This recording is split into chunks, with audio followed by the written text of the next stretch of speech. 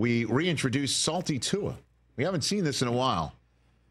We haven't seen this in a while. But Salty Tua showed up, and you know I always like Salty Tua. Uh, this sounds like defensive Tua as well.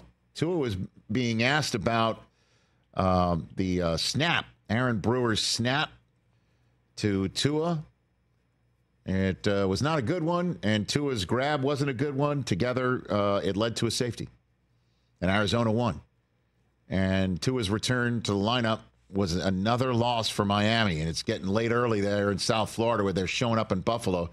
He was asked about this sequence leading to the return of Salty Tua.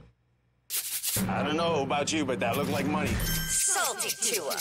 It's as simple as catching the ball um, in the gun, but I would say I'm a pretty good shortstop guy. I, I have pretty good vision. I have pretty good hands.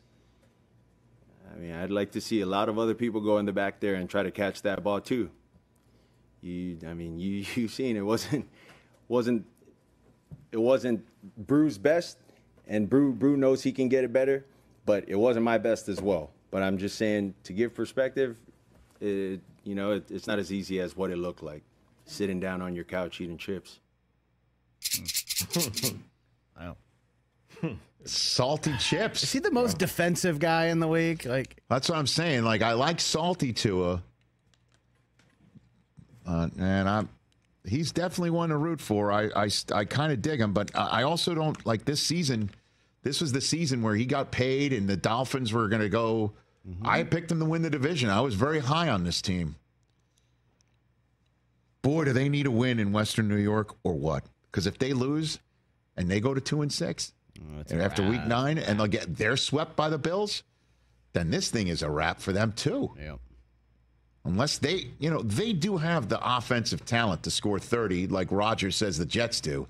They have that, right? Mostert's healthy, Achane's healthy. Oh, yeah. Tyreek Hill. Jaylen Waddle, Odell if he's healthy, Jonnu Smith, Tua if he's healthy. You go to battle with those guys, right?